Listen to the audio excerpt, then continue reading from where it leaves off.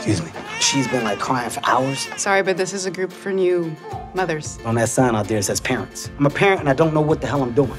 Girl's got some stuff flying out her ass and she can either hit you with a streamer or she'll buckshot you. It's a quick whop. I need help.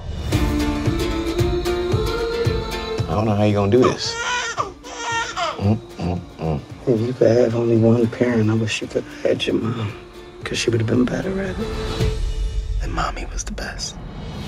Go to sleep, Maddie.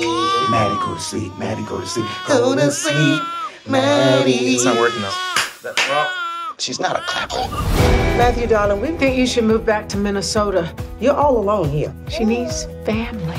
Raising a child, it's a non-stop, all day, all night affair. I look. You look great. Don't say it just to be saying it. You look like a king. King in a sling.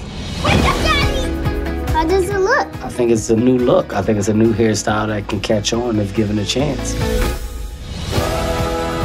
Mr. Logan, Madeline doesn't have a mother to model after. I am well aware of what my daughter doesn't have. You think you can do this, but you can't. No, man, you're right. I can't do it. But you know what?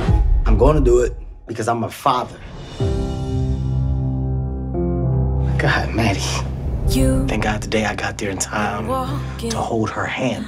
With Liz, oh, I didn't get to hold her hand. She was gone. and you It's always just us. Other people have more people. walk round your I just want to do what your mom would have wanted me to do. I promise there You are trying to make everything perfect.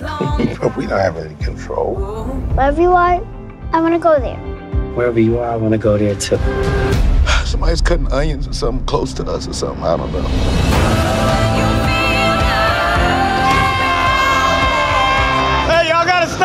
Oh.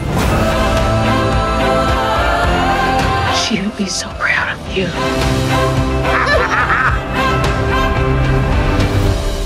Two kisses. One for mommy. One for me. hold on to me